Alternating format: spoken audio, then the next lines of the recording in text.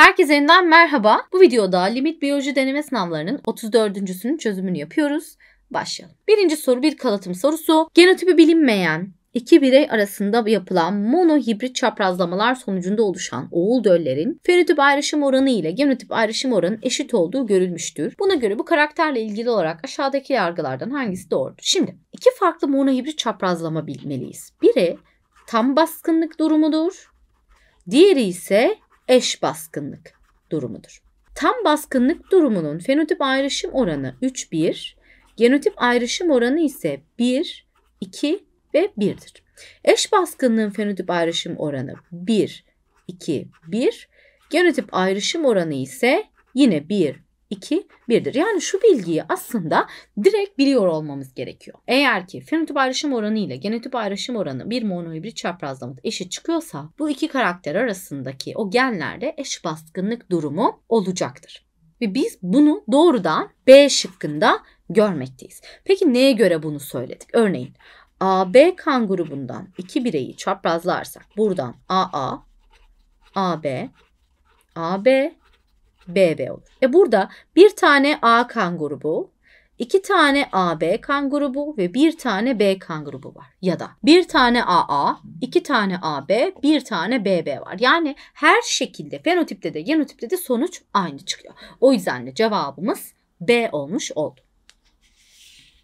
2. Şartların optimum olduğu bir ortamda bağırsakta görevli olan amilaz enziminin bulunduğu ortamın şartlarından hangilerinin gerçekleşmesi enzimin çalışma hızını azaltabilir? Substrat yüzeyinin azalması. Yüzey alanı düştüğünde azaldığında enzim aktivitesi azalacaktır. Su miktarı azaldığında enzim aktivitesi azalacaktır. pH değeri azaldığında ya da arttığında çünkü optimum değerdeymiş zaten başlangıçta. Yani optimum değerin dışına çıktığında aynı şekilde enzim aktivitesi azalacaktır. Yani buradaki durumların hepsi enzim aktivitesinin azalmasına yol açabilecek durumlardır. Bu yüzden de cevabımız E'dir.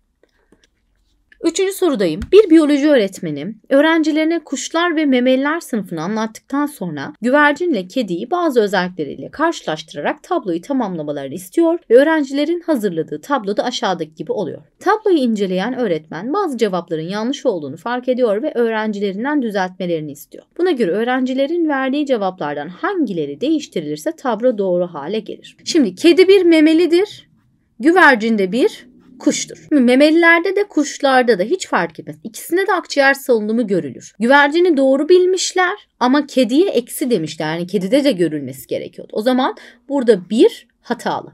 Tüy ile kaplı vücut örtüsü. Kuşlarda tüy görülür. Doğrudur ama memelilerde kıl görülür. 3 yanlış oldu. Kemik yapılı iskelet. Hem memeliler hem de kuşlarda kemik yapılı iskelet vardır. Bunu doğru bilmişler ama kuşunkini yanlış bilmişler. Omuriliğe sahip olma. Her ikisi de omuriliğe sahiptir çünkü her ikisi de omurgalıdır. O zaman yanlış olanlar 1, 3 ve 6. Yani cevabımız D olmuş oldu.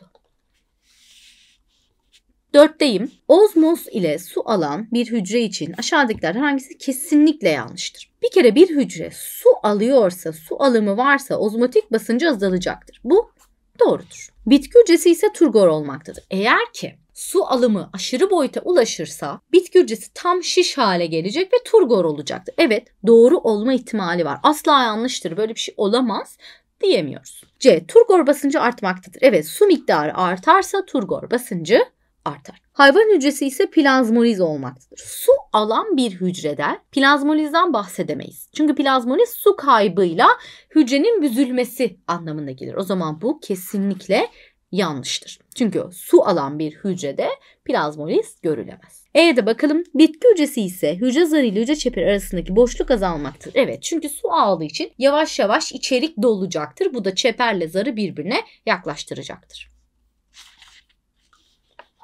Beşinci sorudayım. İki farklı çiçek arasında gerçekleşen tozlaşma olayına çapraz tozlaşma denir. Aşağıda çapraz tozlaşma yaptığı bilinen hermafrodit bir çiçek verilmiş ve çiçeğin erkek organı kesilmiştir. Buna göre erkek organı olmadan hayatsal faaliyetlerine devam eden bu çiçekte aşağıdaki olaylardan hangisinin devam etmesi beklenmez. Şimdi erkek organı yoksa erkek organın görevi polen oluşturmaktır. O zaman erkek organı olmayan bir çiçeğin polen oluşturması mümkün değildir. Ama tozlaşma, döllenme, tohum oluşumu, yumurta oluşumu bunların hepsi dişi organ bünyesinde gerçekleşen olaylardır.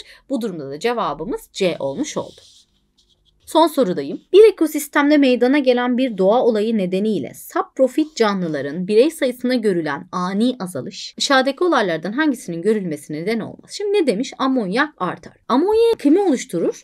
Saprofit oluşturur. Çünkü saprofitler organik maddeleri parçalar ve organik madde yapısındaki azotu da amonyak olarak dışarı çıkarır. O zaman saprofitlerin sayısında meydana gelen ani bir azalış ortamda organik madde birikimine yol açacaktır. Yani amonyak miktarını arttırmayacak. Tam tersi azaltacaktır. O zaman cevabımız A'dır. Devam edelim. Organik atık artar. Evet artar çünkü onlar çürütülemez. Ototrof sayısı azalır. Evet azalır. Çünkü saprofitler azaldığı zaman inorganik ham madde azalacak ototroflar inorganik madde temini edemeyecekleri için sayıları düşecektir. Nitrat azalacaktır. Çünkü amonyak azaldığı için nitrifikasyon olayı da aksayacaktır. Çünkü amonyak olmayınca nitrit üretilemeyecek, nitrit olmayınca nitrat da üretilemeyecektir topraktaki inorganik madde miktarı azalacaktır. Çünkü organik atık artacak ve bunu parçalayacak canlı azaldığı için çok fazla inorganik madde dönüşümü sağlanamayacaktır. Bu da doğru olmuş oldu ve cevabımız da A'dır. Şimdi gelelim bilgilenelim kısmına. Monohibrit çaprazlama sadece